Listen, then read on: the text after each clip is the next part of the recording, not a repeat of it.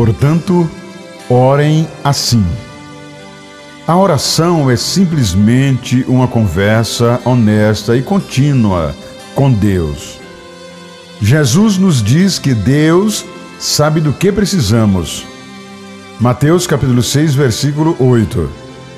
Mas ele ainda quer que o busquemos e digamos o que está em nossas mentes. Ele é um bom pai que cuida de nós. Mateus capítulo 7, versículo 11. Ele quer falar por meio de nossas circunstâncias, confortar nossos corações e moldar nossas perspectivas. Ele adora dar boas dádivas a seus filhos, dádivas que eles desejam, anseiam e pedem. Mas às vezes o que queremos não é realmente bom para nós. Quando Jesus diz em Mateus capítulo 7, versículo 8, pois todo o que pede recebe.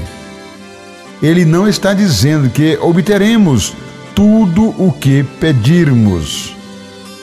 Deus não pode e não quer nos dar nada que contradiga o seu caráter. Deus só nos dará o que é bom e às vezes um não de Deus é a resposta que realmente precisamos.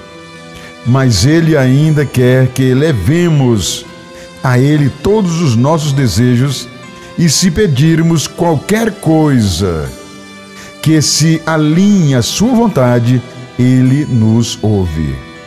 1 João, capítulo 5, versículo 14. Então, como descobrimos a vontade de Deus? Passando tempo com Ele. Quanto mais conhecermos a Deus, mais entenderemos o seu caráter. E é somente quando entendermos o seu caráter que pediremos aquilo que se alinha com a sua vontade. As promessas de Jesus em Mateus 7 são uma promessa de que quando pedimos a Deus, ele se dá a nós. Quando humildemente buscamos a Deus, ele nos encontra. E quando nos chegamos a ele como estamos, ele nos recebe de braços abertos. Quando nos aproximamos de Deus, ele se aproxima de nós. E quando se aproxima, ele transforma a maneira como pensamos, renova as nossas mentes, restaura as nossas almas e nos conduz por caminhos que são para nosso bem e para a sua glória.